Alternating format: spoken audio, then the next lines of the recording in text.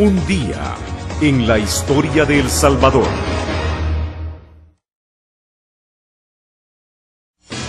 ...5 de mayo, 1989... Fallece en San Salvador el compositor Francisco Pancho Lara.